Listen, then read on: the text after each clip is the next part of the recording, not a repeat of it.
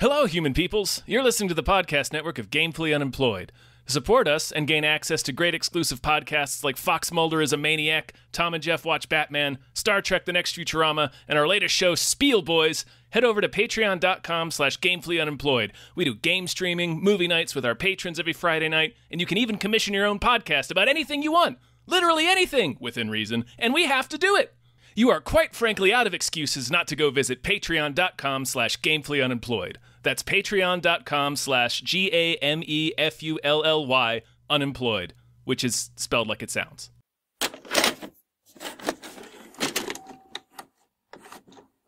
We're doing great. We're doing so good. So good. Yeah. Because that was the hard part. That was. It's it's all easy after Yeah. this, so it's going to be great. It's all gravy from here on out. Hi, everybody. Hello, everyone. Uh, my name is David Bell. My name is Tom Reimann. And I am professional podcast guest and part time author Jason Pargin. Welcome. Welcome. And and we just watched. I saw the devil, but I didn't see the deputy. I don't. I don't Is know. that I'm what sorry. you're? Oh, I'm so sorry. That's the direction you're I'm, taking s- it. I'm so fucking Listen, sorry, everybody. I saw the devil. what?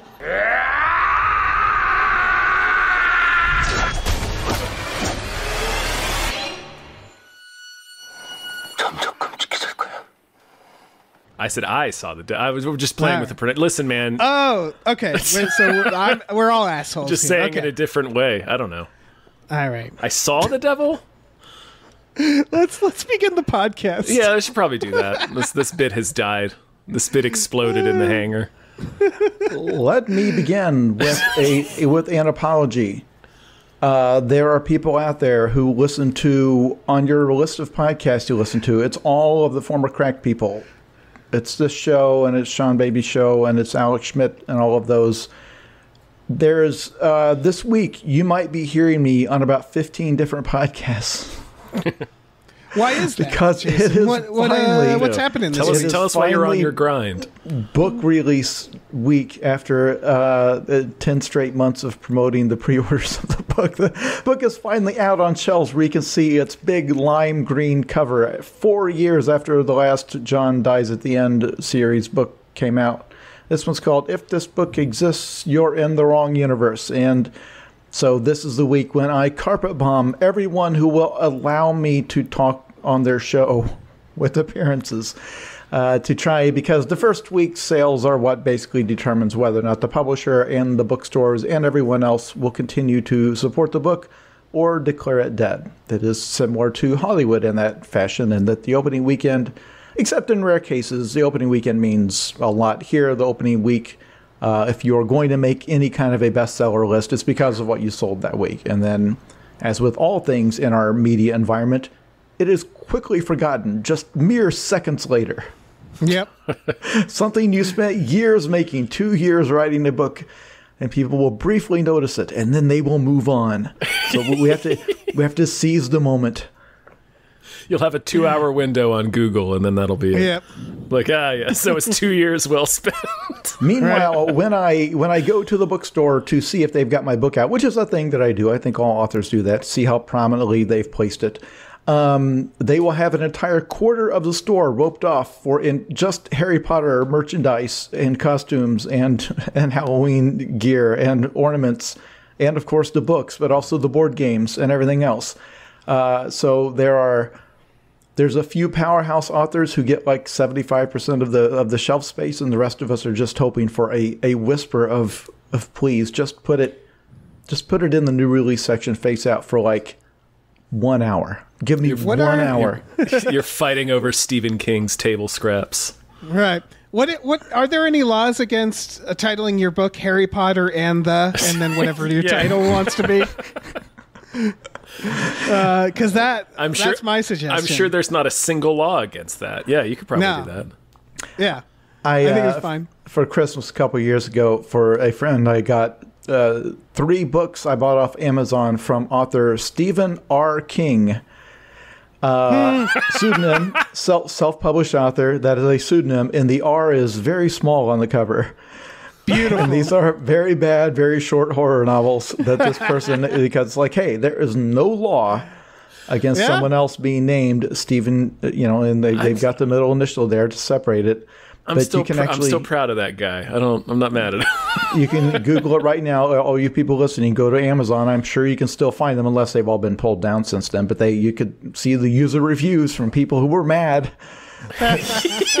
Somehow, I I'm thought imagining people reading it and then like like slowly turning the book around, rereading the name, and being like, "Oh, you son of a bitch!" Seeing the book jacket photo, yeah. just some dude that looks like stuff. Jim Henson or something.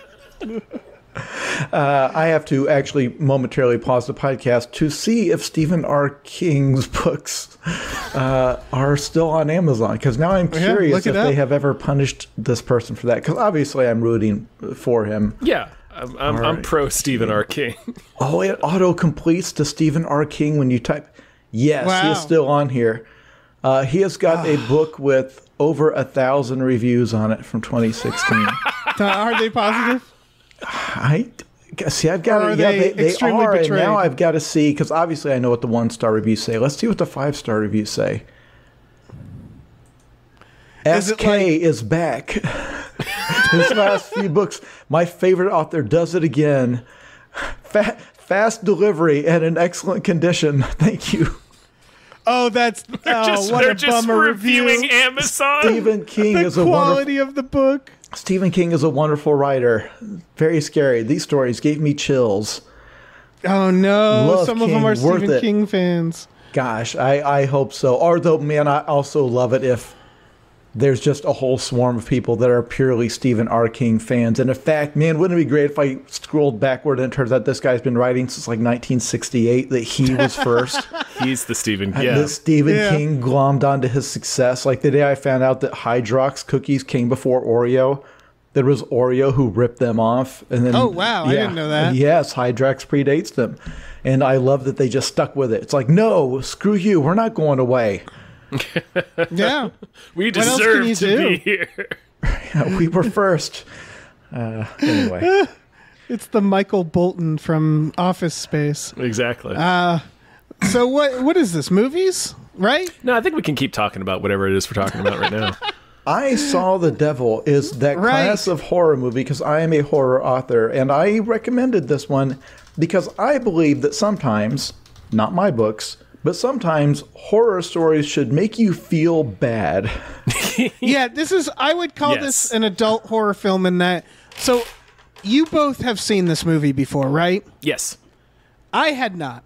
All I knew about this movie was it was called I Saw the Devil, and you were like, let's do it for, you know, for spooky times. So I, I kind of expected the devil to show up um, or for this to be supernatural uh, in some way. But no, it's a serial killer movie. It is a- actually technically classified as an action thriller or a mystery thriller uh, when you go to, to rent it. Yeah, I would. Uh, Which isn't to say it isn't a horror movie. squarely f- put this in the category of horror because Yeah. Yeah. there is a hook here because I've seen a lot of serial killer movies. There is a the, this is one we'll get into it, but you watch it. He catches the killer very early, and then something unusual happens. And then it becomes a horror movie versus a police procedural, you know, where it's like, because like nobody thinks of Law and Order or Law and Order SVU or what are the other Law and Orders? Let's list them all now. Law, Law and Order, uh, Big Easy. New Orleans. Yeah. Um, anyway, uh, nobody thinks of those as horror stories. It's like, well, no, it's police procedurals, even though they deal with you know serial killers and rapists and everything else. It's like uh, this goes deep into horror territory in the way that scares me. Because if I watch a monster movie, I'm watching like like if I see a really cool monster, I'm like, that is a great makeup effect. Like, oh, I, I bet that's an animatronic. Like, I love it. It's like, Right. oh, it's a great monster design. You see, I'm saying, I'm not like thinking, oh my gosh, what if that thing turned up in my house? Right. It's like, no, that's cool as hell. Like, that's a great design. That's, uh, oh, I love the way it moves. That's so, so creepy. Where stuff like this is more like unsettling to me. Because I previously done an episode here about the um, horror movie Funny Games, which again also does not have a monster in it, but good God. yeah. Right. The very yeah. What if that turned up in my house? I was I was thinking about that with the main killer. What in if this. old boy turned up in my house? yeah, man. So this the the serial killer in this, I I man, I wish I looked up his name uh, because I'm a big fan of Old Boy. I'm staring at an Old Boy poster right now. He is the main character in Old Boy, and he is the serial killer in this. And it's funny that his two most prominent films, he is just a fucking mess in both of them. yeah, he sure Uh, is. in two very different ways. But man, he's so good at what he does. He's such a good actor, and he is terrifying in this. Uh, for people who don't know the plot, first of all, I- I think it's safe to say we all quite enjoy this film or consider it a good film. Yeah. Right? Yes. Yes. And uh, and again, this, this does not mean that we think the things in the movie are good. It is Right. effective at watch. If you watch this and you thought this is a movie for bad people, I would not dispute that. It is it is extremely effective at making you feel the way it wants you to feel. Uh, we'll we'll get into Yeah. all that, but but it's yeah, I think it is extremely well made. I think it goes places you do not know it's going to go, but yeah, uh, and and everything about the way it's staged and the way it conveys the violence is awful. You hate the violence. You're not rooting Yeah. for it. It's not slapstick. That's one big thing with slasher movies. Is so many of the kills in Friday the Thirteenth. That kind of movie is slapstick. It's done for Right. comedy. yeah, Jason is a comedic character. For sure. Yes. I, I actually found some of this conceptually funny, I gotta say. When I realized what was happening, I was, it, it, it, it kind of made me on chuckle. a on a on a br- the broad On a broad- stro- the broad the broad strokes, yes. stroke of what the the hook is, which is uh, basically uh, we'll get into it in more detail. But basically, the hook is the detective figures out who the murderer is, and instead of arresting him, he just randomly will show up and beat the ever loving shit out of him, and then just leave him alone. And like Yeah. every time the killer's like, "What the fuck is happening? Who is this guy?" It's it's very. It reminded me of how I met your mother with the slap bit, where he's owes him slaps. So, and this is not a. It, it- it- yeah, and although so he, he just does- starts he- randomly slapping him. He does the in, he does indeed owe him slaps in this movie. in this movie, yes. but I think I think the best comparison we brought up Old Boy. It really is because it even is the same country, right? It's South Korean. yes, uh, and I uh, believe Choi Min Sik is that is that actor's name. Thank you. Um, it's very much the same tone as uh, Old Boy and most of Park Chan Wook's films. I would say it's even a revenge film, which is a big, you know, Park Chan Wook theme. Which isn't to say we need to compare the two, but in terms, if if people haven't watched the movie and want to know what kind of tone it is, it's very much in line with those films. Uh, it's even from the same like 2000s era. This is, I think, 2010, right? Yes, correct. Yeah. Uh, so it is about a yeah a detective who's uh, f- I want to say fiance. His his fiance. yes, Yes, fiance. yeah is uh, kidnapped and murdered by old boy, uh, and it's horrific. She tells him she's pregnant. He he he murders her and chops her body up, and then they find her body. And you you think you're about to watch a very long revenge tale where he's trying to find the person who did this. But as we've already pointed out, he fi- figures out who does it pretty quickly, and then the rest of the film is him essentially physically and psychologically torturing this man, and and and sort of um, letting letting him go and letting him even harm other people. But then the moment he starts to do anything serial killer like, uh, coming in and just giving him a beatdown in in a, a really graphic, horrific beatdown. Not that we feel bad for this guy. Uh, No, and then it when sort he of turns. when he starts when he shows up and starts beating him with a fire extinguisher. I stood up. yeah, I was that- like, "What?" yeah. yeah. It's incredible. and then make sure the guy gets medical attention every time Yeah. Yes. so that he can come back and, and and to be clear multiple people do wind up dying because he he does this like what he's Yes. doing is insane it's not like oh yeah you know kick his ass you know no the whole point is, is that it knows you're rooting for revenge as the the viewer right mm-hmm. and so you've got it, it is very i don't know what's the right word used the film is very mean, I guess, in the sense that, for example, when it shows this young lady getting brutally killed by this guy, like you see her having this extremely charming phone conversation with her fiance, who is a police detective. and they get off the phone, and she's just very sweet and young and kind. And then this the killer comes up and pretends like he's there to help her because her car has she's got a flat tire. I guess you, you, the presumption is that he caused that or, or whatever. Um, and that she's like very kind to him, but cautious, you know, like any woman would be. She's alone. And then when he kills her, like the way he does it, like he hits her in the head with a hammer, and the, and the hammer like bounces off her head in a way that's like, that's not slapsticky at all. It's like gut wrenching. Yeah. And then the he- second murder as well. It's brutal. Yeah, and then he takes her back to his killer lair and like dismembers her, and you see him do that, and he has like a conversation with her, and he's very like this guy plays it so it, it's a level of detachment Yeah. that is I-.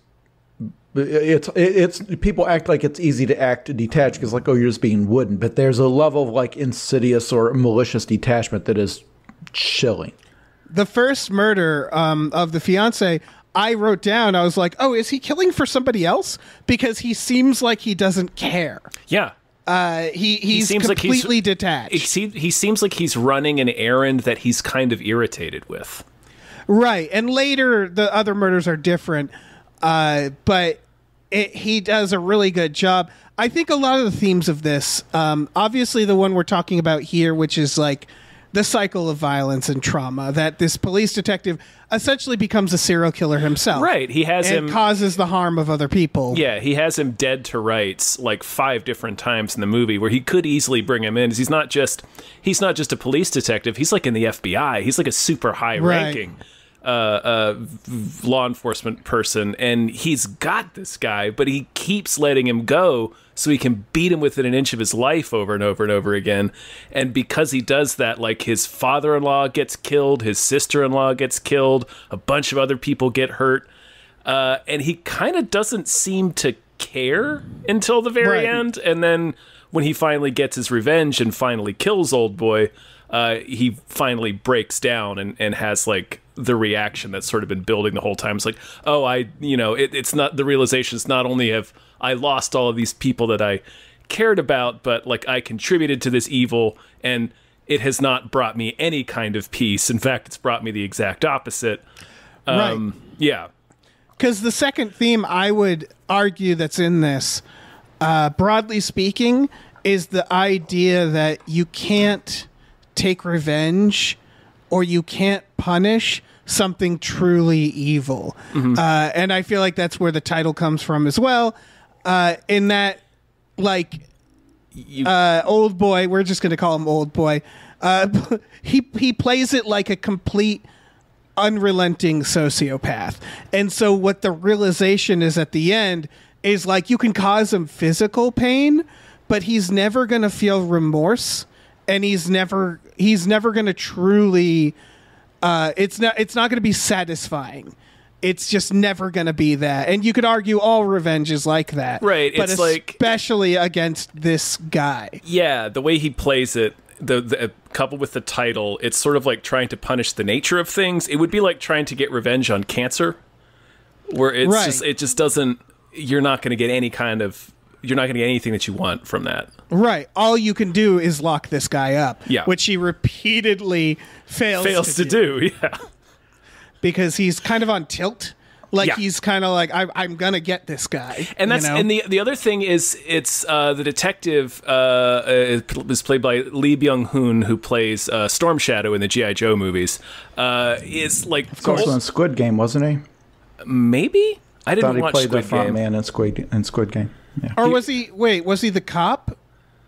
I'm gonna, no, I'm he was the bad up. No, guy the cop was He was the, the front younger. man in the, the weird mask. Uh, I guess everybody had a weird mask, or at least I, I think so. I, if, again, if I have him confused with someone else, I apologize to him and his friends.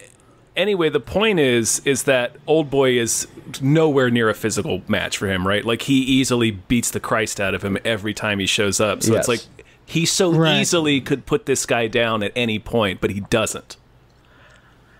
Because he wants to fuel this bizarre Right. revenge that he's uh, enacting. Yeah, and and he is in fact Squid Game. Oh, he is okay, cool. I looked it up. I still haven't seen uh, it, so sorry I couldn't contribute to that. Oh, you, you should see the Squid Game. yeah, I You'll- should. I should. Looping like back this from um, what I was saying about how the it's kind of I said it's like a mean film. Like the way the the victim gets found as a group of young children are playing, like in a, a pond or a swamp or something, and they find a severed ear. Yeah, that And kid has then- changed forever. in a lunch and sack. then well, and then uh, tons of, of like press and and gonkers show up, just like a whole crowd because of course I'm I'm assuming there they don't have tons of serial killers. Like it's this huge media event. And they find this woman's severed head, and like the detective is there, and her father, who is a retired detective, is there. Um, and they all watch this and they they like box up the head and they drop it because people are jostling around trying to get photos and it's just like everything that happens is like the worst possible thing yeah, and for it's, sure.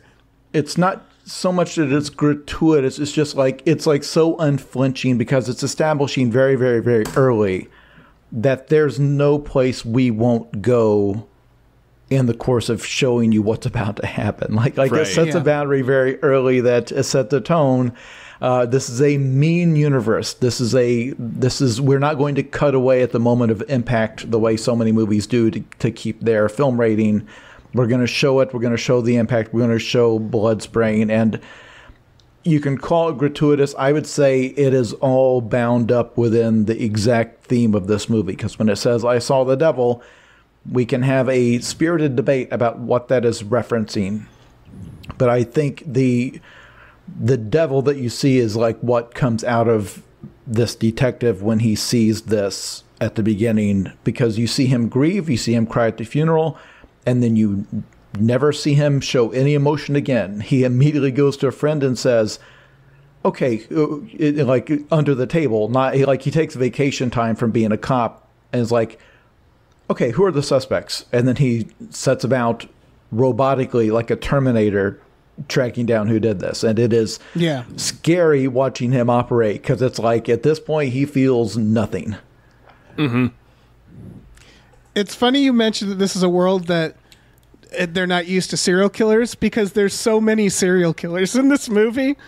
Um, Right, that was one the- of the things I the- it's very incidental funny how many serial- yeah, It- it's very funny how many serial killers just sort of show up in this.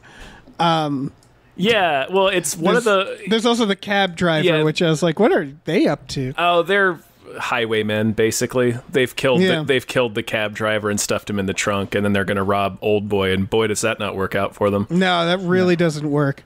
And I, I like that they do. That was that's another aspect of what I was talking about before about how they show that the detective can easily beat this guy because nobody else in this world can. Like every other situation that Old Boy is in, he is the most terrifying, monstrous predator imaginable. He, nobody is any match against him. They have no hope. He just carves his way through so many people like a force of nature. So it's like when the detective shows up and just easily beats the shit out of him. You're like, oh, good, he's Right. finally going to get put down. But then, nope, he just keeps letting him go. So it like makes No. that hit all the more hard because you see what a just a menace old boy is tearing Right. his way through people uh, in every And other going situation. back to, yeah, going back to Jason, Wait, like defining it as mean. It's it's a very interesting because I know it's uh, you're describing like unflinching, right? Like old, the actual movie Old Boy is the same way, and uh, where it's that, for example, one of the things he does to this guy is he cuts through his ankle, he cuts his Achilles uh, tendon. Achilles tendon, yeah, and they just show it happen. Yeah, it's And it's- extreme it- close up. Yeah, and so I it's it's interesting because I don't actually agree that the term for it would be mean. Um, I'm not sure what it's what the term would be. I think that it's actually more responsible to show violence this way than a lot of movies do. I have right? a I have a couple of thoughts about that. Be- okay, yeah, because it's showing the violence in a way where you're like, I don't like this. I don't like it. This is happening to a, a villain, and I still don't like watching it. I don't want to see it. Yeah. I don't. I don't. You, you know, like it's it's how violence should be kind of interpreted in film, which is as violent. You know, like Yeah. uh, disturbing. Yeah, and r- related to that, first I wanted to talk about calling it mean. So I agree with Jason. This movie is mean, but I don't think it's. I'm I'm defying it, defining it the same way uh, you are, Dave. I'm thinking of it mean in terms of like he gets the detective gets the worst possible punishment for what he's doing. Like, like it's not only. d- oh yeah, it's does mean his- to the detective. For yeah, sure. it, it's just mean. It's every situ, every everything like uh, the kindly father-in-law and his kindly sister-in-law both get horribly murdered. His kindly fiance gets horribly murdered. Like nothing good happens to anyone in this Right. movie. So that's what I think of when I think of it mean. But Yeah, like, Yeah, I can't- think- I don't know what the best, a better word for it is, but because it's not a criticism, it's saying that the film is not going to respect your sensibilities whatsoever. Right. It's Right. not going to protect your feelings, and this is a mean universe. Like like uh, that, you know, the woman could have been discovered in a lot of ways, and instead they chose for these children to stumble across. So like a lot of things could happen and play out in a way that you know, when the bad guy far into this process, when he's been released and he winds up getting medical care, and then he, you know, he pins a, a nurse in a back room and makes her take her clothes off. Like he could have gotten, she could have gotten rescued much sooner than she did. Uh, Right. It, it, it allows terrible things to happen to undeserving people, but again, in service of exactly what it's doing. Because the whole point is at the very beginning, if you think it's a straightforward like Liam Neeson revenge movie, you're rooting for him. Like when he starts on his path to go find this guy, it's like we're rooting for this cop to find him and and you know to give this guy what he deserves. It's like it's cool that he's ta- he's he's not doing an investigation. He's going on vacation or doing this on his own time, and you're rooting for him to succeed. Um, and then as it goes, and as you see what he does, you want it to be over. It, it- it's it's terrible. It, it- the way it keeps going, he keeps prolonging it on purpose. It's awful. Like you Yeah. don't want it. It's like I want this to stop. It's like no, because there's one point where the cops are going to arrest the guy, the bad guy, and the protagonist snatches him away from the cops. It's like no, I'm not done. It's Right. like that's insane. You have sure a moment does. for him. He's going to get convicted. He's left evidence everywhere. The guy's going to go away forever. It's like He's no. covered in blood. Yeah. Yeah, it's like no, it's, it's like no, I'm not done. I'm not done doing my revenge, and, and it's like at that point you're not rooting for him. You're not rooting because there's nothing good that's going to happen now. Too much bad has happened. Too many people have suffered. Right. Like there's no happy ending anymore. yeah, that ledger's never getting balanced. Yeah. Um, Yeah, I think the difference between. Oh, sorry, Tom. You were going to say something. just the, the other thought I had about the violence, where you showed that it, it's it's unflinching sometimes, because like if you notice in the actual murder scenes, like it shows the violence of him knocking his victims out. Like he hits one woman with a hammer, he hits the next one with a pipe. But the actual murders themselves, it does cut away at the point of impact. You don't actually see him murder the victims. But That's it, true. it doesn't cut away when the detective is wailing on him and cutting his ankle up and you know like or when he shows up on the first suspect and just obliterates the guy's balls with um I forget what he hits him oh with. yeah, a wrench. A wrench, yeah. Like it doesn't it doesn't flinch from the violence that we're supposed to be rooting for, but it makes it really awful on and I and I think it's interesting that it it does that because I think it Yeah. it, it serves what you were talking about before. well, Yeah. to, so to me, it's the difference between torture porn, like Mm-hmm. American torture porn, uh, or um, you know, I guess Hostel. There's other examples, uh, uh, Human Centipede, where it, it feels like those are made specifically for shock, right? Mm-hmm. They're made because they want to horrify us and make audiences kind of laugh and giggle too, and be and flinch. Where this is actually a statement about violence, and I would argue the entire this entire weirdly niche genre of South Korean revenge thrillers all kind of do that, uh, which is it's to show like the reason I think they do stuff where it's like, well, of course it's going to be a kid who finds the body, of course uh, his elderly future father-in-law and like the family is going to get victimized and there's we're not going to get the hollywood ending where it all works out is because it's yeah it's trying to make that statement. I would say the sexual violence in this which they do they do follow some restraint with uh is there because they're showing like he let this guy go. And look what he's doing to people you know? Like that is yeah that's very much the point mm-hmm. is to not look away and to show this stuff in a in a way that's gut wrenching because that is yeah the point about the violence and the cycle of violence and what violence does and and revenge. And it doesn't it's not trying to say like this guy getting revenge he's no different than the serial killer or like it's worse. But they're just trying to point out that yeah there's no in seeking revenge there really is no like satisfying ending. It's just more sadness on top of it uh, so I think that's what makes this different. Because I, I don't like I don't like a lot of those gory like the torture f- horror films, but this stuff appeals to me, and I think that's the distinction, which is that this feels a lot more like it's trying to give uh, an unflinching look at violence, and yeah, it is ultimately the plot is very mean because it's trying to say this violence is mean. You know, it, it results in tragedy. Uh, and, and I very much like that about this. There's a technical issue I want to bring up. It's, it's noted on the Wikipedia page that the Korean the media rating board forced them to cut the film before they'd release it, and they had to cut, I guess, a minute and a half of, you know, how these things go. They're like, there's a specific Right. shot. Yeah. Do we know? I can't immediately find out. Do we know if the version that I watched the version version on Amazon Prime? Do we know if that's the cut or uncut version? Uh, I wa- the one I watched on Prime specifically said like uncut or like unrated on it, so I assume that's the full version, Interesting. but I'm not positive.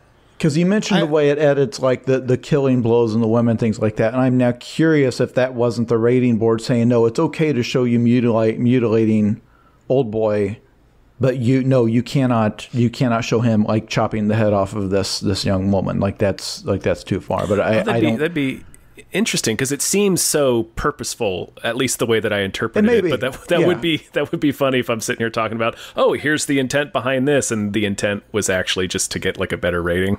And Right. it turns out the version that I watched was the censored version, I'm not sure I want to see the uncut version. right. I'm actually probably fine with with never seeking that out because what I saw was that was enough for me. This is yeah, this is pretty bold. plenty. It's pretty bold. it's violence. Oh man. we i guess the final i guess not button but like the the the the, the, the end of the detective's revenge uh is like such the i guess like a perfect way to end the film and it's it's also it it has a great deal to do with when this movie's over you just feel bad um, which is Right. He he as we mentioned he uh, old boy's about to be arrested but he grabs him instead and he's like no i'm not done yet and he kidnaps him away drags him back to uh, his his murder palace old boy's murder palace where he sets him up in this machine in his own guillotine that he's been using uh, on his victims uh, Right. and has the puts the rope in old boy's mouth uh, he basically has to hold it, and as soon as his jaw gets too tired, he's going to have to let it go, and he's going to cut his own head off.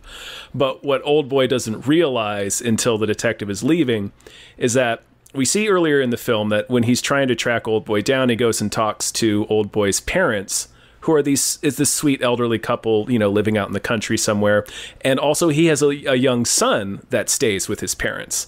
And this, you know, he's just a little boy. He's just, you know, he's, he's not bad or anything. He's just a, a little kid, doesn't know anything.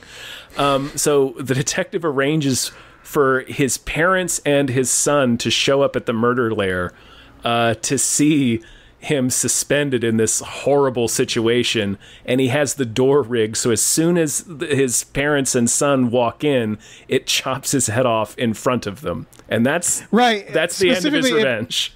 Yeah, it pulls the rope from his mouth because he's holding Yeah. the rope, and then and so like yeah, it makes it so that his parents and son have to feel responsible Yep. for killing him. Yep.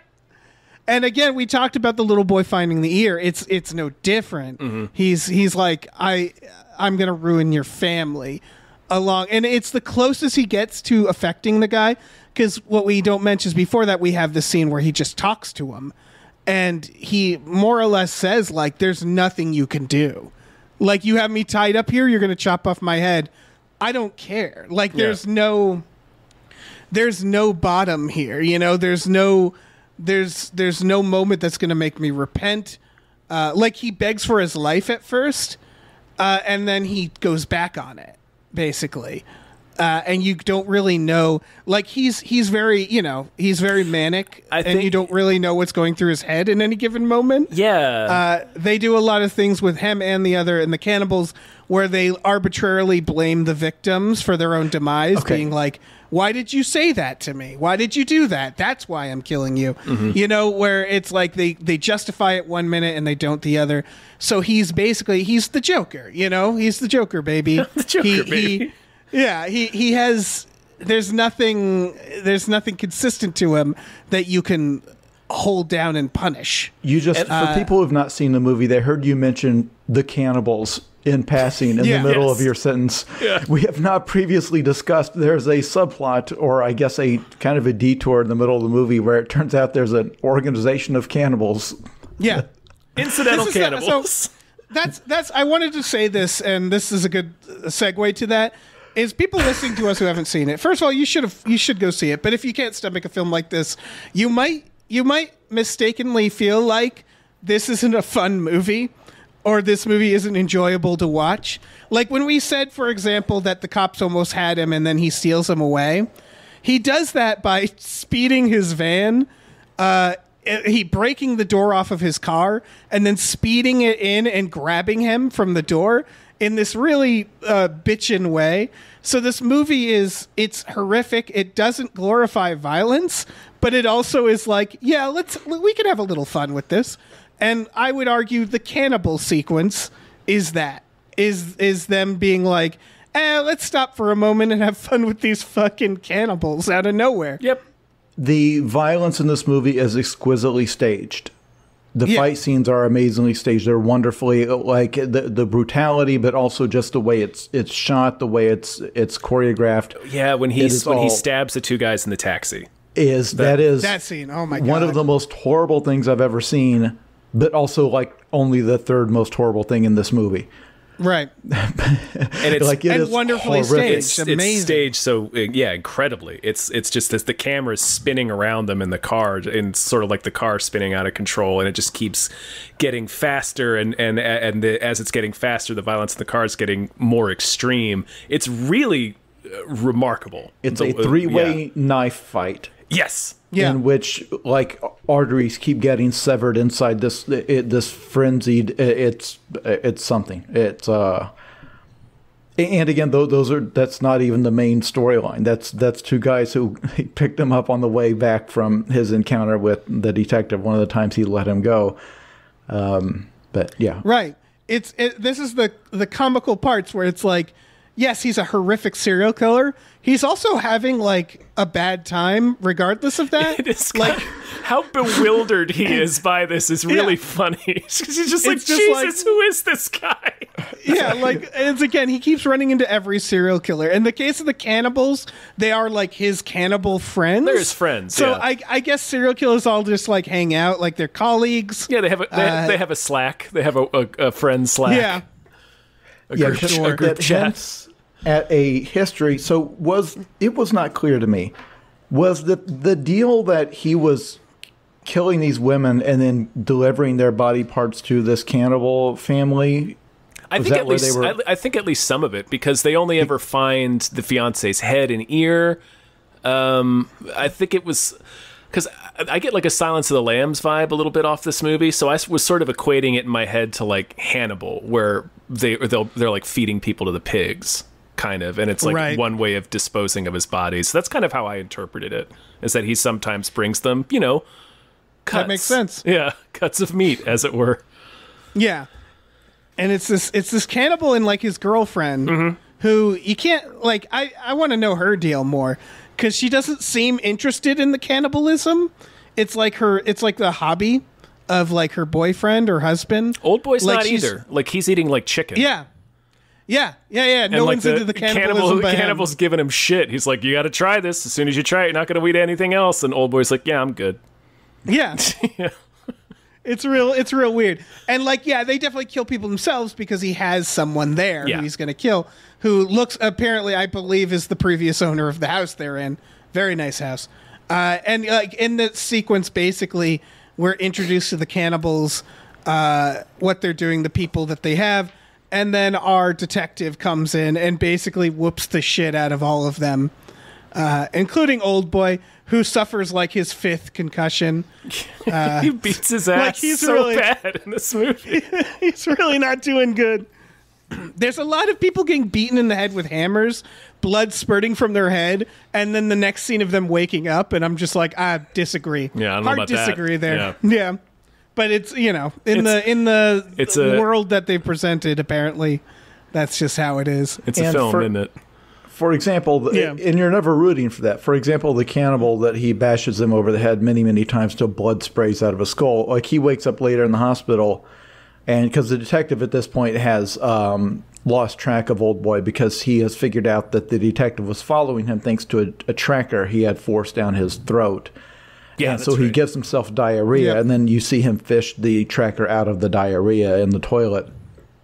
Which was yet another hard to watch scene for yeah, but again, different uh, reasons. yeah, but again, uh, uh, unflinching and showed you the whole process. Yep. Um, and then the detective goes to the hospital to find the cannibal to say, "Hey, where's our where's our friend?" And he the cannibal straight up tells him, "Oh, he's going to go after your your family." Correctly tells him that. And then uh, someone describe for the audience what the detective does in response to this. in short, he jokers him. Uh, he uh, so the guy starts laughing, and he's like, "Oh, you think that's funny?" And it basically let's put a smile on that face. He grabs his jaw, and he pulls and and starts tearing the person's uh, the cannibal's jaw off, which is very symbolic considering he's a he's a cannibal as well. Mm-hmm. And again, no sympathy for the cannibal. Still don't want to see it.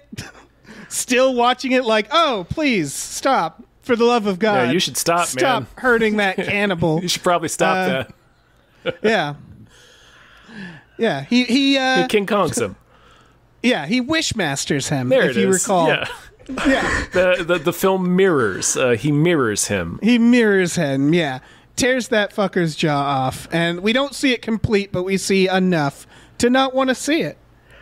Uh, yeah, it makes Uh, it extremely clear. That's the thing is it lingers on the shot for longer than you want it to, and this movie Yeah. does that a lot. It's like no, no, you're going to time. watch this. Yeah. It's like no, no, no, yeah, no, no. we're gonna make you watch it. You wanted yeah. to see the devil, so Yeah, and here it is. The devil is this cycle of violence. That is how I interpret it. The devil that has been unleashed is not any person in this movie.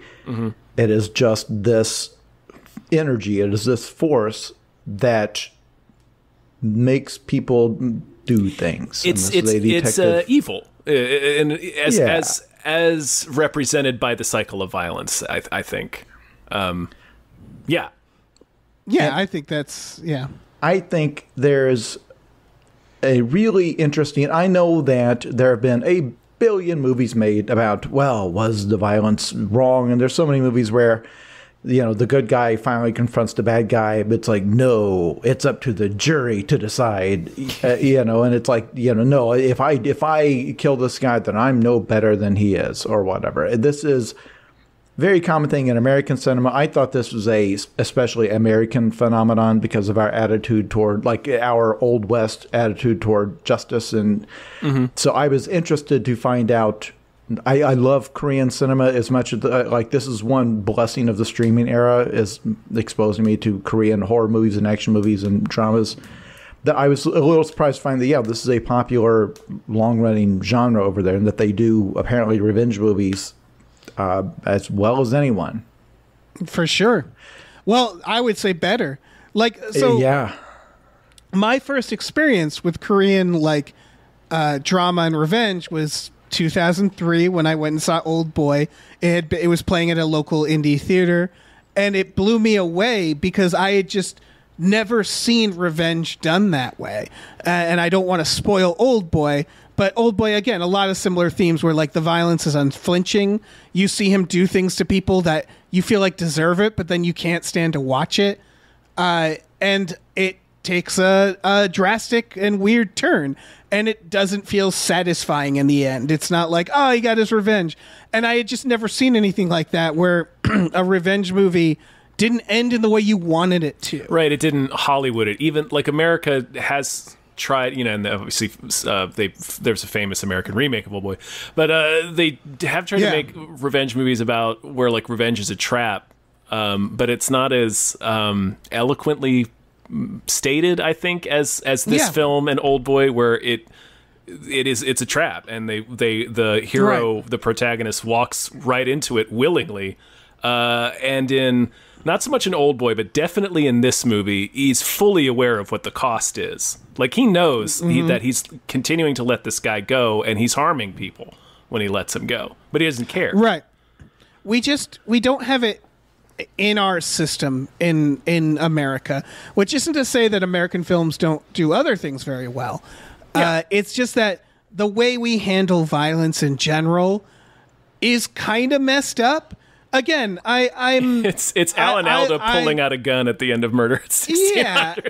And I love Murder at 1600 as much as everybody in America does. Yeah. We we constantly celebrate that film and and that's a beloved film with the with the young and old alike.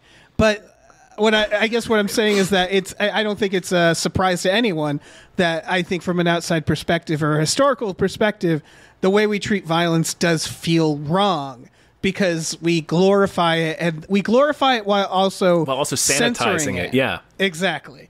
Uh, and so, and I think that's what makes it so that this genre and this country doing these seem to have that edge that we don't because they don't do any of that. They don't sanitize it, they don't glorify it, and yet they can still do a scene where a guy kicks the ass of a bunch of people in a hallway and be awesome.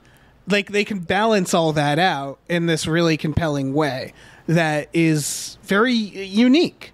Uh, and I, you know, I don't know. I wish, I wish we would figure that out here.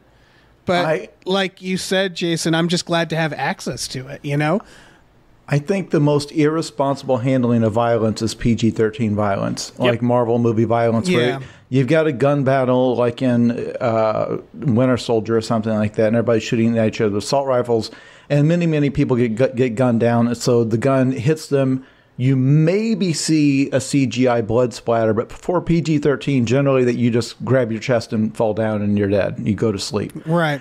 Whereas anyone who has ever, if you've ever gotten curious when you were a teen on the internet, they didn't have the internet when I was a teen, but I know that some of the listeners do. But if you were a teen on the internet and you got curious about looking up like real crime scene photos or real, like, like occasionally photos will leak after a mass shooting, you'll see what the victims actually looked like when they were hit with an AR-15. Um, and what that what those bullets actually do to the body, and what that actually Yeah, you I know, had. I was going to bring that up. Yeah, I had that experience. You know, because I grew Oh, up. yeah. I grew up watching you know American action movies and people getting shot and just falling over. When the first time I read about like what bullets actually do to the human body, and then saw pictures of it, I was like, no fucking way. Yeah, Like it, it's the- like so. Oh, yeah. yeah. It's like so sanitized in American in American cinema, and in a lot of movies, but in American thing- cinema specifically. where you'll get shot in the shoulder, which is you know the the non lethal place to get shot in a movie, and then just keep fighting. And it's like if you've seen the inside of a shoulder like an X-ray, all those little bones in there, all those joints, all those tendons, and a bullet hits you and goes bouncing around in there. That's an, that's a wound you'll feel for the rest of your life.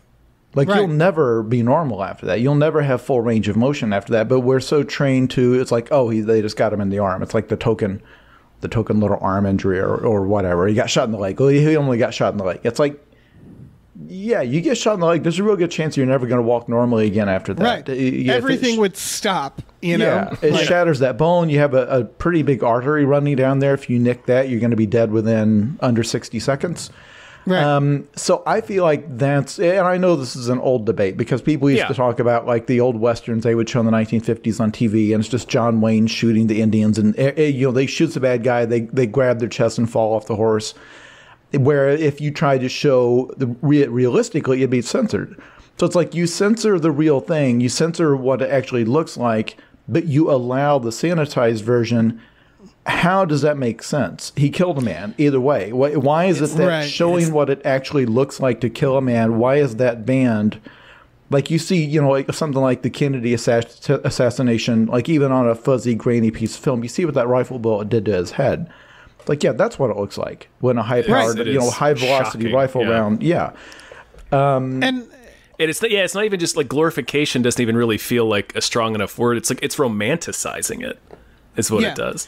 And I would, I, I mean, you mentioned it. It's most people are aware of this. I feel Yeah. like I don't think we have. I don't think you need to. People need to feel bad when they watch Commando or another film or you know, like any action film that glorifies I it. feel incredible every time I watch Commando, Yeah. Dave. yeah, I think a lot of people are aware of it, but I do think you don't you aren't truly aware of it until you watch a movie like this sometimes. Like it's a it's a it's a stark reminder of it where it's like it's easy to sort of get like get used to it and there's, forget. There's a, a more recent development, and I guess it's not so recent, but there's there's a I guess a recent iteration of it that I think I, I thought of while watching the movie this time. Uh, this is actually the third time I've seen this film. Um, this time watching it, I was I, I kept thinking about the sort of like I said, they cut away from the actual murders, but you do spend a lot of time with old boy's victims really stewing in the extreme like terror that they're feeling.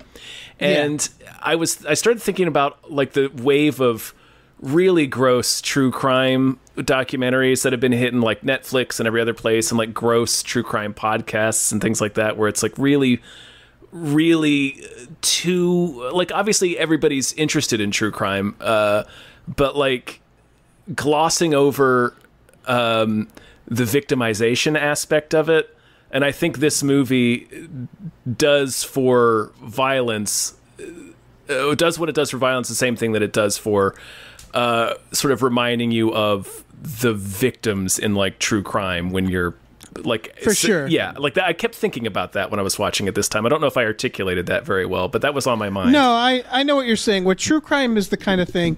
Like, I'm actually surprised we haven't gotten a movie yet about a true crime podcaster who becomes a victim, and it's and it's sort of like pointing this out, which is true crime is generally getting exploitative. Not all of it, mm-hmm. but you know, a lot of it. And y- there's so many dime a dozen things of like.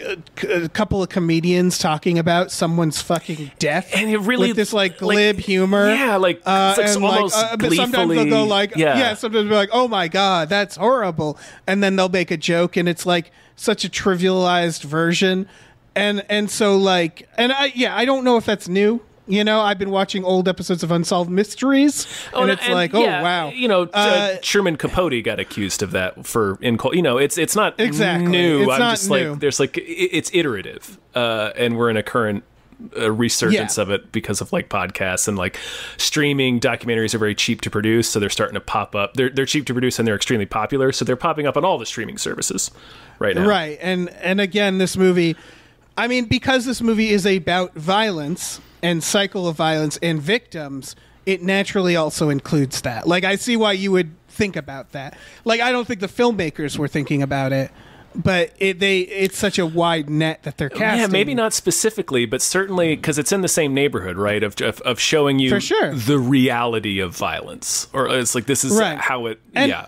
It should be noted. I, I know. I, I already said someone gets hit on the head several times and survive. It's not completely realistic. No. it's what it's what they do that matters. Is the the performances, the way the people act, uh, the way the people are clearly in pain, are being tortured, are suffering. It, it's it's like yeah, it might not be medically accurate completely. but it invokes a more empathetic response when you're watching. it. Exactly. Exactly. Yeah. So I, the question this movie raises, it, I posted a poll on Twitter one time asking a question. And you listeners, feel free to discuss this among yourselves. Feel free to pause the podcast and discuss with your classmates and friends. Let's say there was a real person who committed a horrific crime, just like uh, Old Boy in, in this film a, a rapist, murder, whatever terrible crime you wish to imagine. Let us say we live in a world in which they invent a drug that they can give you that with 100% certainty it eliminates all urge to rape and murder in the future. It is an instant reform pill. You don't question how it works. You know exactly what I'm about to say in this thought experiment. Right. If they catch the bad guy and they give him this drug, he's cured. Like like there's no doubt. We 100% know he is cured. He will never rape and murder again. Would you support immediately letting him out? Or or do you feel like you owe it to the families and the victims and whatever societies to make him suffer? Th- like, does his does inflicting suffering on this person do anything? If the goal is not reform, because again, we've got a way to magically reform him. Do you feel like there's some? Because I think most people said in my poll, no, he still has to pay, like implying that there's a ledger, a, a cosmic ledger that has to be balanced. It, that I don't mm-hmm. know if it's Right. rooted in religious belief or it's just an instinctive, because it's not necessarily about deterrence. But it, Yeah. it- but it's about like, does is this individual still owed to have bad things happen to him? Because there's a line in this movie where it, that specifically is said that he is letting him go because he's going to make him. He's not felt the pain that his dead fiance felt. It's like, no, you still have more pain coming to you. And this movie is trying to say, well, that's what he's doing is madness. That it's also the logic behind a lot of our morality, right? The idea that regardless of reform, regardless of what happens, that a certain amount of harm is owed to make things right again. Yeah, I, and, uh, and not necessarily physical harm, but yeah, like punishment is certainly an aspect of prison. I The mean, I mean, yeah, it's it's yeah, the, it's the, the, ult- broader yeah. the broader question is what is the purpose of our prison system?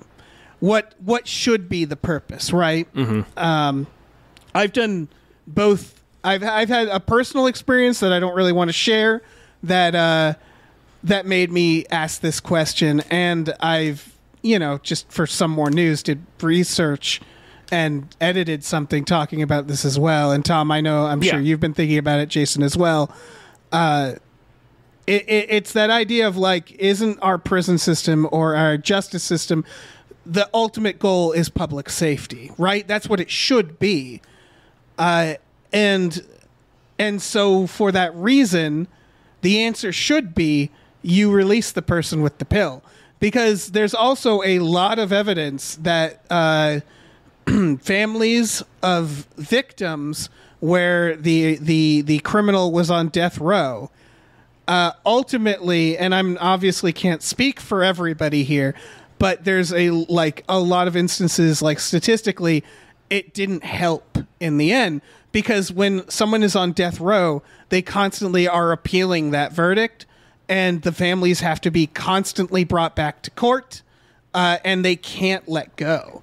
They it, it drags on sometimes for a decade, uh, and there's no resolution. And then ultimately, when this person is executed, a lot of the family members were like, "And I feel nothing."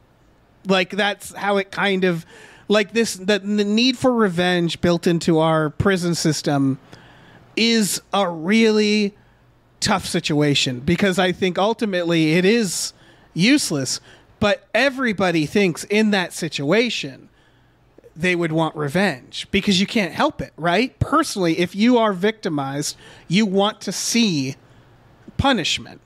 That's mm. just in our instinct. So it, but like, exactly. Yeah, but if it happened to somebody else, I would say, "Oh no, let them go." If it happened to me and my family, I would say, "Oh no, oh you can let them go. I'll find them." you, it's uh, that Right. doesn't mean we're done. Like you can let them go, but no, I'm not gonna. I'm not gonna watch this guy out shopping at the mall while my whatever, my daughter, my my wife, my my mother, whoever is in the grave, and like they're never coming back, and this guy's out shopping at you know buying new shoes at, at Foot Locker. I was like, no. No, it, like, but what I'm thinking is, I can't. There's no logic. There's no logic unless you you assume as like it's axiomatic that pain is owed for the pain you inflicted. But there's no, and, and again, some people are saying, well, yeah, it's about deterrence. The argument this movie makes, and I do believe this movie is making an argument in its dialogue, is that deterrence would not affect a guy like this hmm. the, the type of person who would rape and murder a Right. young child that like deterrence deters normal people. Like i'm scared to death of getting a parking ticket or getting having a police officer yell at me. But the type of person who is so broken inside and has been so like whatever his deranged thought processes are and like in this movie this guy is almost like an incel type. Like his whole thing is like like women like you have treated me like crap my my whole life. Like he thinks he's getting revenge. That's that's the irony right? and, but and but it, it very much makes point. Even after he's had tremendous suffering inflicted on him by this detective, he just immediately goes back to crime the moment he's he's away from him. Second, he's free. Like, he's- yeah. Yeah, the moment he doesn't like leave the country, it's like, oh, I'm going to go to Japan, start a new life, get away from this psychopath or, anything like that. It's like, no, okay, well, I can go right back to kidnapping women again. All right, here I go. And the point Right. it's making is that you could kill this guy right in front of the cannibal. The cannibal's still going to be eating people, like like the type of people you're dealing with. So you can't make the argument that it's about deterrence or sending a message to the next bad guy, so that maybe you'll get fewer murders. Right, Their because there there wouldn't be any more murderers at this point. Like we've had we've been jailing murderers as as a species for I don't know thousands of years. And there's been plenty of study done on the type of, of like antisocial personality types who commit crimes. They can't they can't imagine themselves getting caught. Like they, just can't visualize the future that way. They just don't. It's a combination like of narcissism or whatever you want to call it. They just can't grasp the the a, a possible future where they get where they get caught. Um, because even the ones who don't make any effort to get away with it are are surprised when they get arrested, even though they they like had the murder weapon under their bed. It doesn't. They just don't.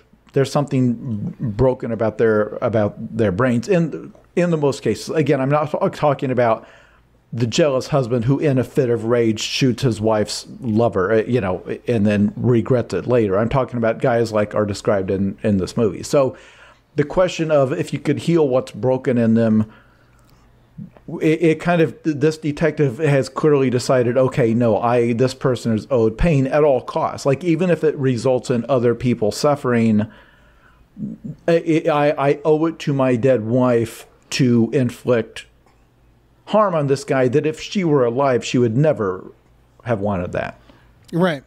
And yeah, I mean, going back to your question, while there isn't a magical pill, there are countries that have reform systems that are far more, you know, uh, forgiving than our system and far more effective, but they don't punish them as as much.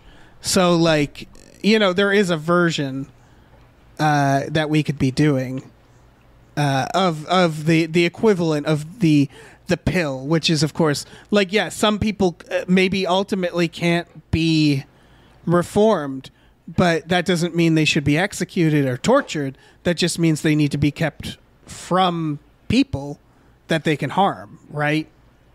Which is of course yeah, what the cops are trying to do to this guy in this, and then he just keeps letting him go. Uh, it's man, what a film. Yeah, Oh, let me let me take this to an even darker place sure. Ooh, please do. in the spirit of this of this movie. If you watch any comedy from the 80s or 90s, or probably up till five minutes ago, uh, there's a joke uh, in Fletch, there's a joke in cartoons from the era, or there's jokes in Family Guy about prison rape. Yep. And or like when- Mallrats. When, uh, yeah, when Jared from Subway went to jail, every single comment on every single news article all said the same thing. Every single Twitter thread, every single Facebook thread, they all made the exact same joke, which is now you're going to get what you deserve because you are a rapist and now you will be raped. And this was an unquestioned thing in my life. Like, I do not doubt I have made that joke many times about some sort of, like, you know, don't bend over in the shower when you're in there, blah, blah, blah.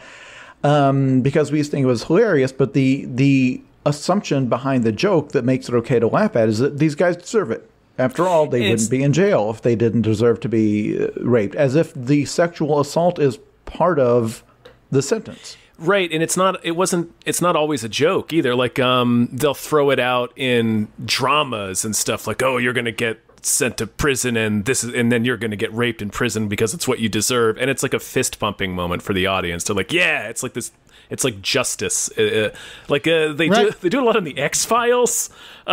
They sure do. And even if so, even if I did again, not remember like, that about the X Files. Oh yeah, Mulder makes so many prison Mulder rape jokes. says It's it so a- weird. more than once. Yeah. What's Interesting. interesting about this is like even if people listening are like, I don't give a shit what happens to them, right?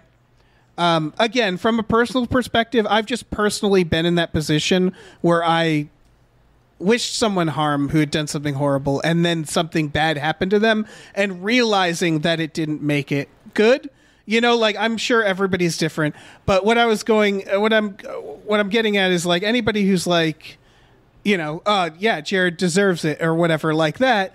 It should be also noted that in prison, uh, sex offenders get murdered often. And again, you could say like, well, fuck them.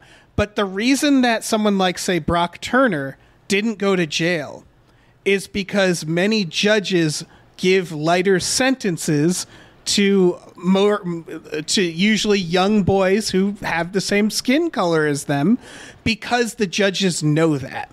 So because we let that happen, it actually means less justice for sexual offenders. Um, someone like Brock Turner got off and didn't go to, didn't face punishment because there's an actual problem in our prison system where someone like him would get brutalized. Uh, and again, it uh, whether or not you care what happens to him, it actually is what helped prevent a lot of punishment for sexual offenders and rapists. So, like, that's the thing is that this system, this idea of justice or, you know, you get what you deserved, is breaking the system in ways that are affecting victims of these people. Yeah. And that's really key, I think. And that's what this this movie Yeah, points out, which is interesting. that yeah, that his, it ties his- directly to that. Yeah. yeah, the, the family members because he comes for his family members, and guess what? They don't get saved. He he he hurts them, and that is that is often what happens. You know, like the system built around we're gonna punish you and we're gonna ignore the screams from your cells, et cetera, et cetera, uh, is is can like it compounds and it affects victims. It affects everybody. It also like affects crime because like there are there are certain reform systems that don't cause people to reoffend which is in our prison system. You know like the way we treat prisoners and like like the the how completely helpless they are when they get out of prison just causes them to do more crime and guess what that does? That creates more victims. So it's not a good system even if you don't care what happens to these people. And and, and that's and that's what it is. It's it's the emotional need for revenge versus what actually logically makes the world a better place uh, and again, I'm not even sure that we can control it. You know, like I don't blame anyone who wishes harm on someone who victimized them because I think that is a natural feeling. and I'm not even necessarily condemning like the revenge the revenge genre of film where it is like a cathartic. You know, the bad guys get what they have Right. coming. Um, you know, Django Unchained, like it, that's you know, I, Yeah. I'm not sitting there watching that saying, "Well, this is shameful the way he treated those people." It's not. We that. love to see it. We love to see it. Like And- I, I love watching those fucking racist honkies get murdered. Like, eh, yeah, but it's really nice to see an exploration of that feeling, right? because I think our attitude toward justice is weird in this country. It, it's I, I don't like. I grew up again in the '80s when every '80s cop movie, Dirty Harry or Cobra, any of those, the theme is like, man, it sucks that that we have to let some stupid. Tr- jury decide what happens to these guys. You know, there's a point in the movie Cobra. That's the Sylvester Stallone crime classic. You should go watch.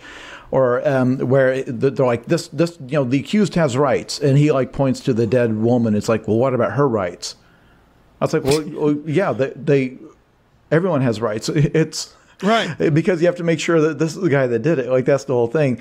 Um, and this was a big thing because crime had been rampant in the 70s and was growing or out of control by the mid 80s to the crack epidemic. And this was like Hollywood, white America Hollywood at the time was very conservative. People forget Hollywood was not always seen as like this bastion of progressive ideals. Not that it is today, but people think of it that way. And Yeah. people don't realize a lot of these like like these Clint Eastwood movies, these cop movies, these rogue cop movies. It was all about it's good to be a rogue cop. Like, wouldn't it be great if we would finally take the restraints off our cops and let them just go out there and shoot Yeah. the bad guys? Because after all, we all know who the bad guys are. It's not like they would ever accidentally shoot the wrong guy. right. Yeah, every every action movie from the 70s and 80s it seems like uh, about cops anyway is is all about how due process is bullshit Yeah. And at one point in, uh, for instance, Death Wish 3, uh, Charles Bronson's character just pulls out a machine gun and starts shooting everybody in that neighborhood. He just shoots everybody. The entire I was city. Like, I was like, yeah, you wouldn't you wouldn't live in this neighborhood if you hadn't done something wrong. Like, it, you know, it escalates into him shooting a man directly in the chest with a bazooka. Yeah, with a bazooka. Um, Great film. So, so I I do. We have a weird attitude toward it because once you start talking about vigilante violence, and I know that we, we like with Batman the whole thing about like well Batman doesn't kill, but then obviously in many of these scenes he's clearly Yes, he seen does. like like permanently permanently handicapping people. I was like, well, this guy person never walk again. Then the the question becomes, and I feel like everyone should have this thought at some point in their life, which is, okay, what crime deserves a brutal beating and permanent loss of your ability to walk? For what crime is that too much? For how much how much money do you have to have stolen before you lose the ability to walk permanently versus losing the ability to walk for say six months? You see what I mean? Because in the justice system, we do have those numbers down. In the justice system, it's imperfect, but we do say this crime gets this punishment. This is the process. You can you're eligible for parole if you do X, Y, and Z. When you talk about vigilante justice, and you have a posse or a vengeance-driven cop, it's like you know the first thing that we mentioned this guy does when he's trying to before he finds which guy was the killer, he just grabs like the four most likely suspects and starts battering them. And the first one he, he grabs, the guy's like in his underwear, and he starts smashing him in the dick with a, a pipe wrench. And it's hinted that this guy was a criminal, and obviously hinted that he had it coming. But it's like, okay, so what what exact crimes get you? Like, how many blows to the penis do you get for raping a woman, Uh, or, or for what whatever he did, exposing himself, or if he murdered a woman, do you do you get infinite blows to the penis? Like you're watching it and you're you're happy to see it, and it's like, oh, this guy probably deserved to get get wanged in the balls with a pipe wrench. But it's like, okay, but how exactly how many times? It, like if this movie were four hours long, it was just watching this guy wing this guy in the balls with a pipe wrench for four straight hours. At what point would you say, you know what, that's probably enough? Cancel the Academy Awards. There's no. There's, right, right, at the Academy Awards when we're, when we're having the discussions of this film in the wake of it winning 12 Oscars in every category. Uh, and the film is still called I Saw the Devil for no reason. It's like people are Like, so wait, was the wrench the, the devil? wrench, the devil. um, But the point being, like, you never quantify in your mind at what point does this guy deserve it? Because with vig- vigilante justice, it, it's not, it's just whatever. I, I hit this guy with whatever I had on hand. Do you see what I mean? And I think this movie kind of gets into that a little because it's like like there's multiple times where we see our hero set up a saw style trap because it wasn't just the one at the end. He also kind of did it with the cannibal where he like nailed his hands to the table and then like Yeah. tied him down. It's like, okay, that guy probably deserved to have a, a saw style mutilation trap set up for him. But i i the thing, this is the thing about all of the jokes about sexual assault in prison. I would love to set these guys down, the comedy writers, everyone who made that joke, the, the tens of thousands of people made that joke, including me, and say, okay, well, which crimes do you think deserve that? So, like, say drug trafficking. Say you didn't sell the drugs, but say you smuggled them over across the border, tons of drugs, huge quantities of cocaine, got a lot of people addicted, probably. So, how many sexual assaults does that person des- deserve? Or are you just saying that it's the rapist who deserves? And if so, how many times do they deserve to be? Because if you are going to say that that is a natural and good part of the punishment, like you're rooting for it, you, like you think it's good that this happens in prison, you don't see this as additional crimes being committed. Which, by the way, it is just as illegal to sexually assault someone in prison as it is out in the world. That's really so. That's I just want to stress that people don't think of prison as society. It is also society. That's a that's our population. Those are citizens, and so yeah, crimes that happen in prison, those are crimes. Those Anyway. are crimes, and they're crimes that you allowed to happen because that person was in your custody and that person was in your care. You are responsible for everything that happens to them. If they have a heart attack and they die because you didn't get to them quickly enough, to sit there and say, "Well, that's what I get for you know c- committing a crime, stealing all those cars," it's like, okay, so are you saying for example, in prison, you, you get half-assed medical care in general. Like it, like with they won't do any kind of dental work that's cosmetic. If you have like a rotting tooth, they'll either pull it or you leave it in. Like like they do very rudimentary. And there are all sorts of people with chronic pain, all sorts of things. It is very difficult to get medication, as you can imagine. It is difficult to get medication in prison or get medical care in prison. That is of any kind of a quality of what you would have out in the world. And if you have any kind of a condition that is made worse by the conditions of your prison cell, for example, if that mattress is terrible for your back, they're not going to get you a fancy mattress. That's just not the way it works. So the question then becomes again, all of my conservative friends and family would say, well, hey, you don't want to be in there, then don't commit the crimes. Like, okay, so are you saying when you're writing down your ideal prison reform situation, that lack of medical care should be part of the punishment? That chronic pain should be part of the punishment. That if you had a chronic disease that you were getting treated on the outside, but now you can't get it treated on the outside, you're saying that you want that codified into the law and that do you want it codified into the law that if sexual assault happens, it happens as part of the punishment? Uh, or do you think that's insane and that everything like that that happens is us a failure as, as a society? Um, because so much of that is just unquestioned. That it's just like no matter what you describe happening to somebody in jail, it's always like, oh well, too bad. You know, for instance, ex- uh, wasn't Right. Jeffrey Dahmer like beheaded in prison? He was he was beaten to death with a mop handle. Okay. Um, and you say, well, you know, to, that, that's them doing the system a favor. I mean, I guess, but Jeffrey Dahmer was insane.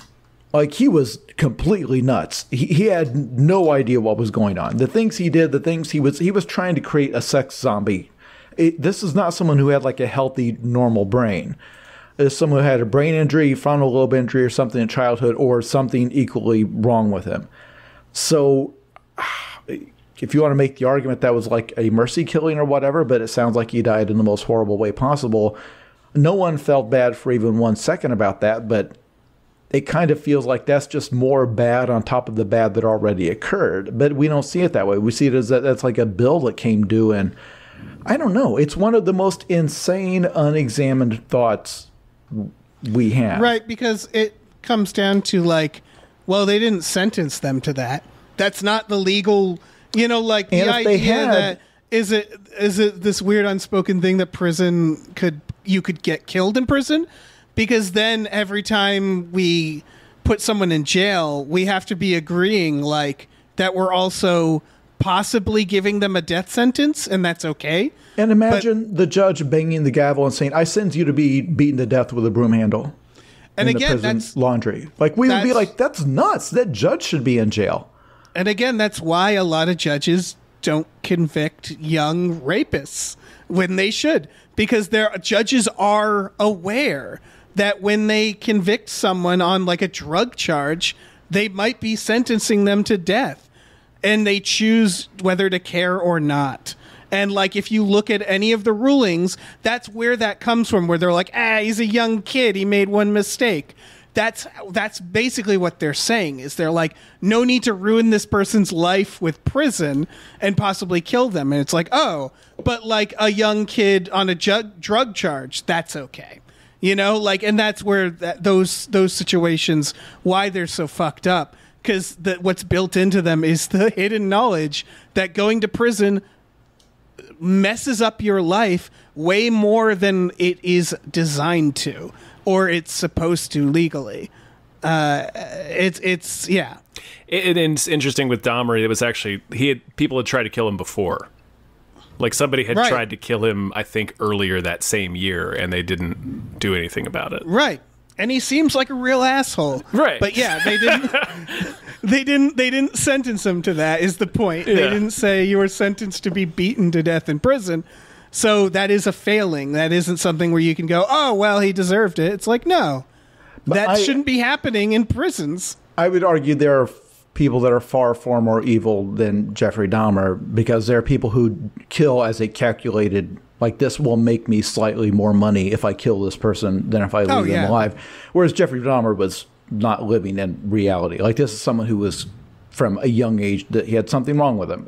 Yeah. It's like it's tragic that this is how it manifested, but um, but in terms of, of like people who deserve to die, there are there are people, there are very powerful, wealthy people that probably deserve the fate more than Jeffrey Dahmer does. And some Oh, of those people sure. will those some of those people will die in very comfortable beds, getting the finest of care. Yeah, and we'll never some of pay- them we won't. Yeah, we won't even recognize as a crime. You know, It- uh, uh, like you think about like Exxon realizing what they're doing is hurting the environment in like the '60s.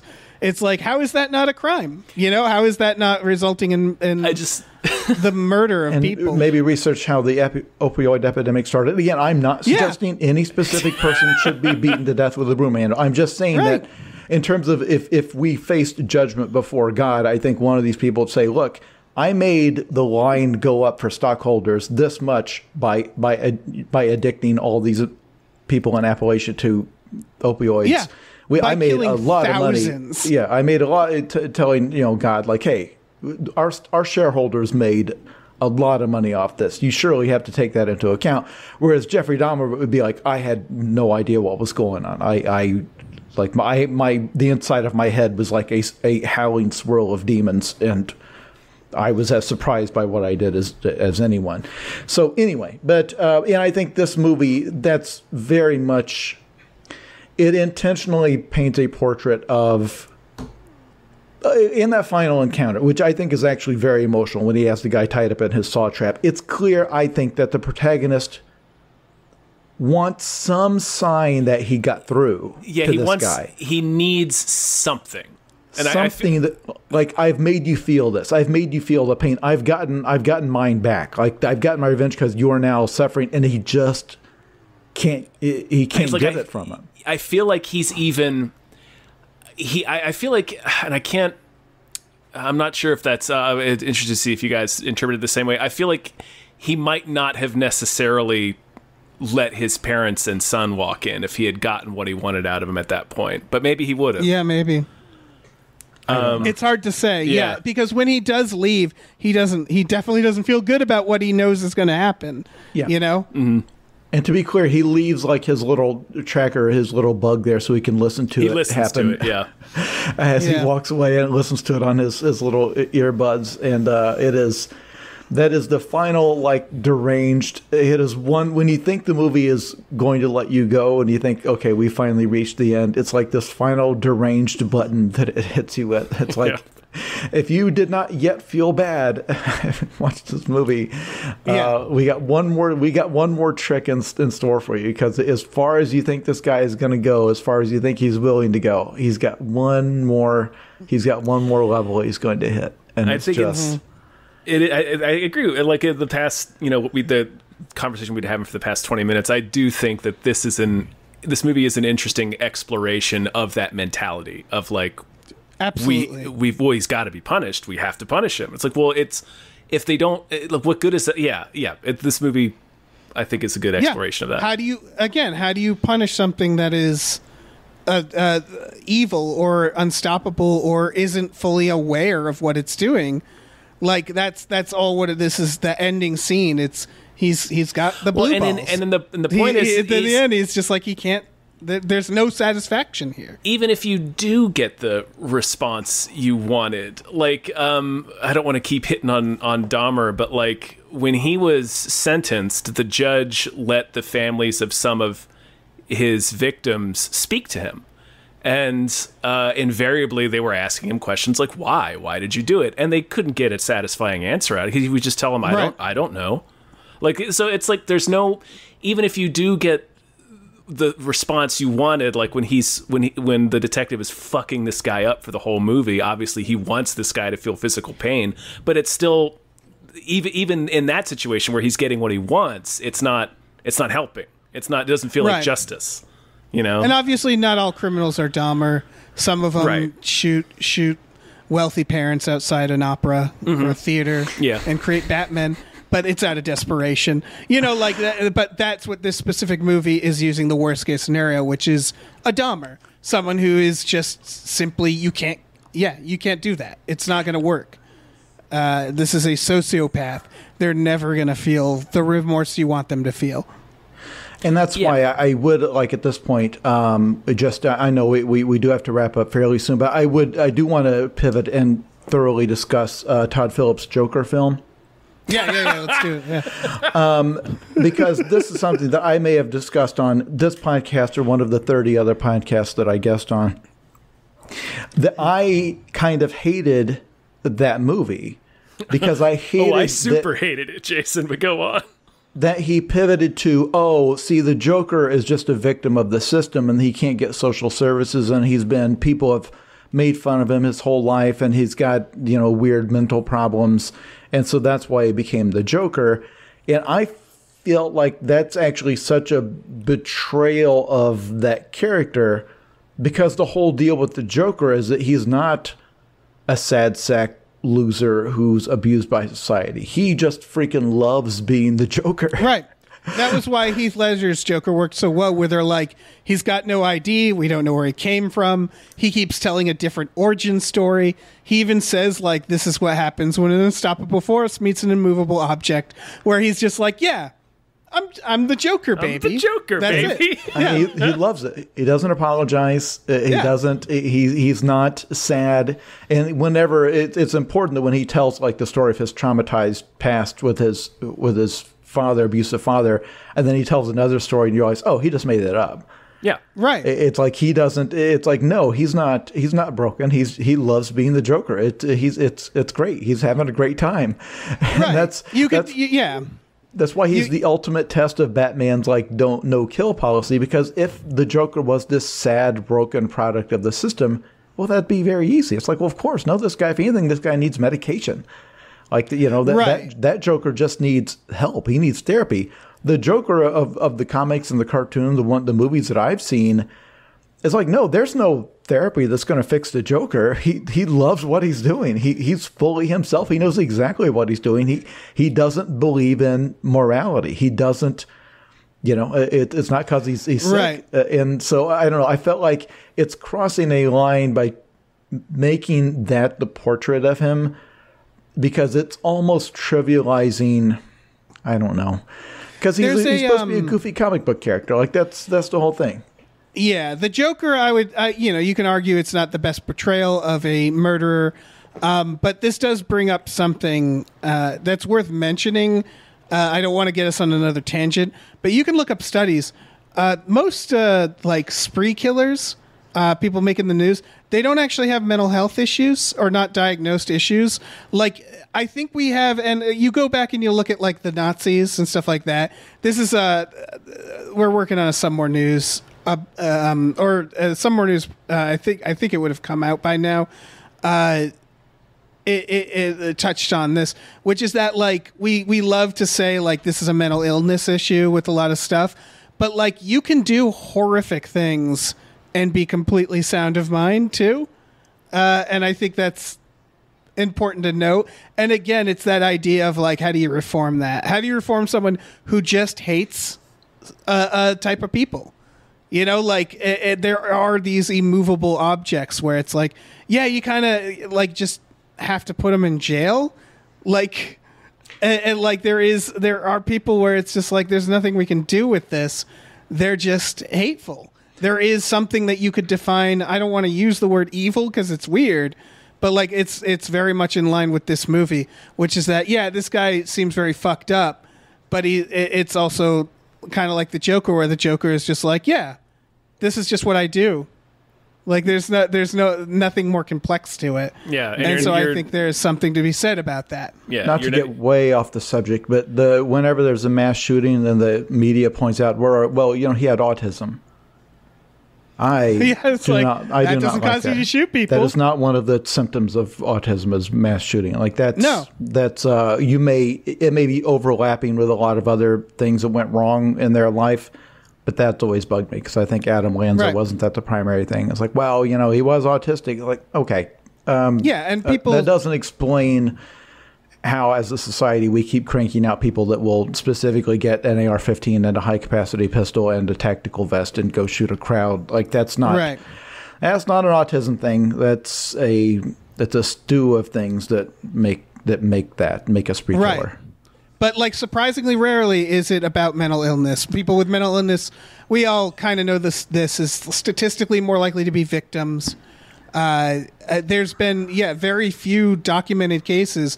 There's the, the the Texas Tower shooter who had a brain tumor, but there's actually a lot of debate around whether or not that Yeah. tumor actually affected his behavior. Uh, we will never of- know. No, yeah, I'm, I'm guessing we will never know. but it, it yeah And it, it's in most mass shootings, in most, the majority of them, the only symptom of mental illness is that they committed a mass shooting. Like that, I would guess that probably is a symptom. But in terms of previously diagnosed, and the ones who were diagnosed, is things like depression. Right. Which but again, has. it's it's that idea is if you are, you know, uh, releasing an opioid to a bunch of people, resulting in deaths. Uh, are you? That's a mass killing. Are you? Do you have a mental illness? Like that idea of Yeah, how we do just define not these care? things. Yeah, or just are you want to just make the line an go up. Yeah. And so that's that's I don't know. That's a whole other conversation. Yeah, I want to But ta- the get back to the movie. well, but I, I- yeah, that's well, right, you that's said, why this I- movie, this movie definitely invokes all that stuff. Yes, God, what a sp- such a spooky episode we're doing right now. That's why I brought this. That's why I recommended this movie for this episode because I do Yeah. love those themes. If it was just a, a demonstration of some cool fight scenes, some very good makeup effects, some eh, spectacular blood, practical blood and wound effects. If it was just that, I would have forgotten about it five minutes later. But it clearly was not just that. It is a long movie. It it's a movie where he catches the bad guy 45 minutes into it, and you think, boy, that's awfully early for him to be catching the bad guy, and then you realize, oh, oh no. Yeah, and it- the, everything Right. that plays out after that there's conversations there's arguments about between people there's people begging him to stop and they touch directly on this. We are not reading too much into this movie. It's explicitly what it's about. And uh, if it was any less gross if it was any less mean if I saw a censored version, I even resent the, the 90 seconds they made them trim it because I think no, Yeah. no, this should be this should make you feel terrible. Like you should not enjoy watching It's any the- of the violence. it's the only Yeah. responsible way to have that conversation. I think. Yeah, the knot you feel in your stomach after watching this movie is the manifestation of everything we're talking about. Yes. Whether or not you are aware of it watching the movie, that is the point of the movie is to make you feel conflicted uh, about these ideas because they are conflicting ideas. Yeah. Because there are natural emotional need for revenge that we all probably have, you know, unless we're a monk. Uh, most people are like to the little point where someone cuts you off in traffic. You know, you want something to happen to that person. it's almost It- like it just comes naturally to us. We we're shitty animals. It's almost Uh, like a biological paradox, almost, because it's you do Yeah. have that. It's just like, well, no, fuck that, fuck that guy. He can't be out there buying shoes. He, you know, he killed my Right. brother or whatever. There has to be some evolutionary biology into it, uh, or evolutionary psychology rather, into it, where it's like we made t- tribal living work because we have instincts that if somebody's breaking the rules of the tribe, like that's they have to be, you know, they have to be taught a lesson. yeah. What- Like like the ones who didn't have that instinct, those tribes fell apart and they didn't pass on their genes or whatever. I'm a big believer that a lot of the irrational impulses are handed down from an era when it was actually fine to smash somebody's head in with a rock. They used to make you chief if you did that. Like, hey, you're the best at smashing people with a rock. That's how you you're got promoted. Yeah, you've been promoted, uh, and and now we we- it's I think in our cultural evolution it's shockingly recent that you couldn't uh, that you you couldn't then when two people are arguing that it wasn't just assumed that it would descend into uh, one guy smashing another guy with a rock. Right. Like those urges to do it, I feel like that's very natural, and it's part of modern society is trying to restrain those because it your that part of your brain comes roaring back in the moment you have been wrong. It's like no, no. It, it's like no. You, I was waiting in line at the drive-through. You nosed your car in. Like no, I, I realize this is literally nothing in my life. This will only delay me getting my food by one minute, and we will say it is the principle of the thing. It's like well, what Right. what principle? What what principle is that? Because I think the principle is just a primal urge to make this person feel pain. yeah. Uh, so if you want a movie that will that will examine that in a way that will make you feel worse, I highly recommend I Saw the Devil on Yeah. available on streaming. If you are squeamish about violence or gore in movies at all, do not come within 100 yards of this film. Yep. Here's here's what I think you should do. You, you kids having a Halloween party. Slip this on. You know, Yeah. Get, do do the thing where you do the the the the grapes without skin, and they blindfold. You do that. You do you do some spooky stuff, Yeah, and then you you, do the- you put you- this on. You do the monster mash, and then you put on "I Saw the Devil." Yeah. uh, all right. Well, any any all right. Any other final thoughts? Nah, Uh, let's- just just that this is. I think this is a really good movie. It's it's. I think the most unique revenge movie I've ever seen. Um, it's it's very well done, very well made, and obviously there's a, a there it lingers. It leaves you with a whole lot to think about. We've been talking about it for the past ninety minutes, so Yeah. that says horror something. should do that. I Yeah. feel like horror should Yeah. good horror should linger. I, I feel like most uh, so many of the modern horror movies that are jump scares that kind of thing they don't stick with you and that's fine it's meant so you know you've seen the audience reactions to like the first paranormal activity movie and people are kind of watching it they're kind of like looking at their phones at the same time but then there's a jump scare and they go ah and their popcorn flies everywhere. And it's like a little, it's like a little roller coaster ride in a, at a carnival, where it's like the little scary things pop out at you, and then, then you come out of the end of it and you walk away and you totally forget about it. Uh, but occasionally you should watch a horror movie and you walk away saying, "Hey, this that movie made my life slightly worse than it was before." Right. Yeah. I want I want them to do an ad with the audience reaction night vision where they all just look like they're processing 9/11. Yeah, it's just Yeah. people Yeah. quietly watching this movie. He has Yeah. like this schoolgirl tied up on the ground, and you think, "Oh, well, he'll the hero will come in and rescue Right. him before this guy's able," and he just keeps. That keeps, keeps not going. happening for a long, long time, and Yeah. and um, yeah, because again, that would that's not the kind of movie you're watching. This is not this is not a world in which the hero always swoops in right before somebody gets hurt. This is a world in which people get hurt, and they will remain hurt for the rest of their lives if they survive. Yep. Spooky stuff. Yeah, it was spooktacular. Uh, Happy Yeah. Halloween, everybody! Yep. Happy Halloween. Oh, all right. Jason, thank you so much for being on Yeah, here. thank you. I, I know you discussed it at the beginning, but would you like to to plug some stuff here at the end? Yep, the book I am trying to get people to buy is called "If This Book Exists, You're in the Wrong Universe." It is part of a series of novels. You, if you've seen the movie John Dies at the End, this is the fourth book in that series. They are not serialized. You can watch, you can read any book by itself, and they all make perfect, the, the exact same amount of sense. They don't all make perfect sense. They all equally don't make sense, no matter what order you read them in. They are episodic. So, if you've not li- listened to or read any of the books, you can start with this one. Although that would be weird because this would be the most expensive one since it just came out. It would be make much more sense to get one of the other ones from a used bookstore or a library. But obviously, I want you to buy this one since this is the one that just came out. Right. Otherwise, if you want to keep up with me, my name is Jason Pargin, P A R G I N. Type that name into any social media platform, including TikTok.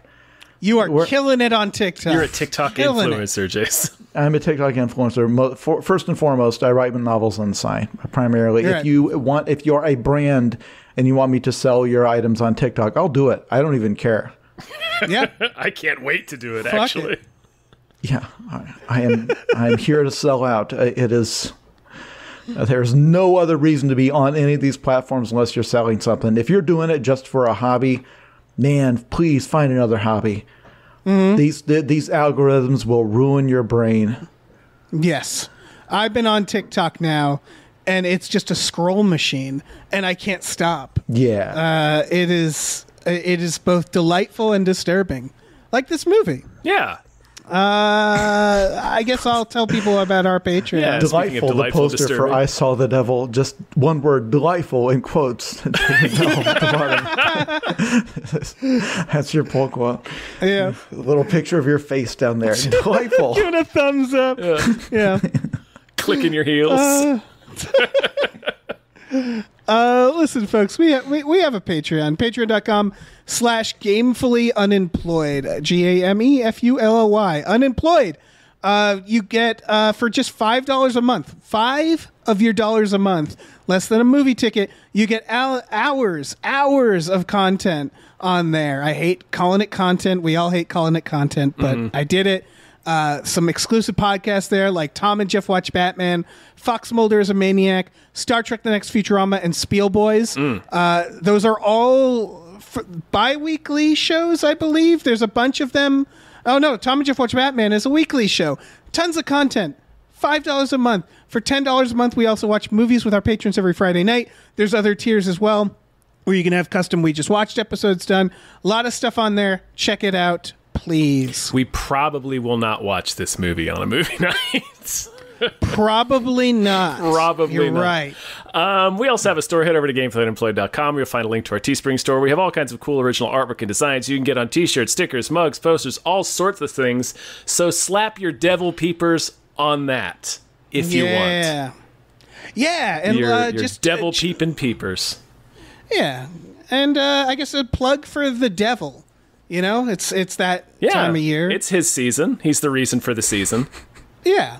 So go uh, support whatever Satan you uh, you like best. I guess. Yeah, go celebrate Samhain or you know Yeah. whatever. All right, Yeah, whatever you want. we can right. we can be done.